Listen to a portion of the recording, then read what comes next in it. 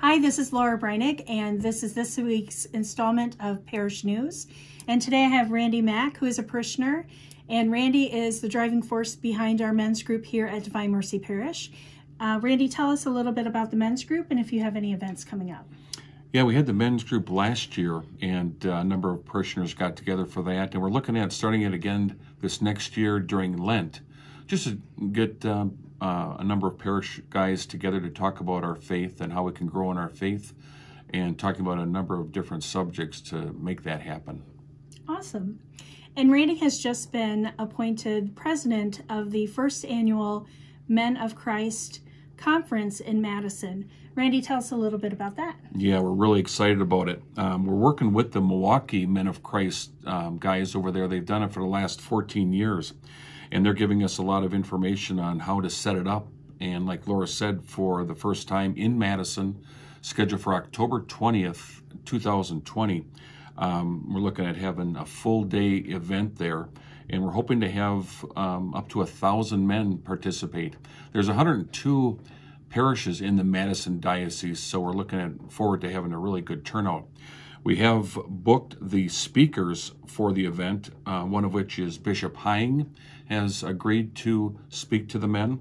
Also, Father Chad Ripperger, he's one of uh, a world-renowned exorcist that um, uh, I think will be very interesting for the men to hear.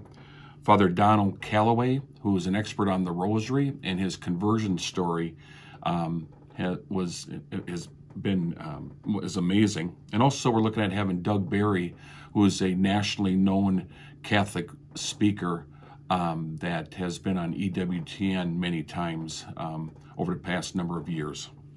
Doug Barry's also been in our parish before, which is super nice, and um, he's an amazing speaker. Um, he has a podcast that he puts on each week, which is very informative. Um, talks about our spiritual battles that we have, and especially um, the importance of having faithful Catholic men um, leading faithful Catholic families. So I'm a huge fan of, of Doug Barry's. You bet. So by having our men's group uh, meeting in Lent, we're hoping that will springboard us to go then to this uh, big men's conference in Madison. Looking forward to having a number of uh, men from our parish attend this uh, big event uh, again next October. Um, so it's only a couple of blocks from the Capitol, so we're looking at possibly even having a Eucharistic procession from uh, the Monona Terrace over to the Capitol, and it's going to be um, happening just a couple weeks before next year's presidential election. Very important. Um, thank you, Randy, for joining us today. If you'd like additional information on the men's group here at Divine Mercy Parish or the Men of Christ uh, conference uh, that will be held next year, feel free to give Randy a call, and his number is displayed below. And thank you for joining us this week, and we look forward to seeing you soon. God bless.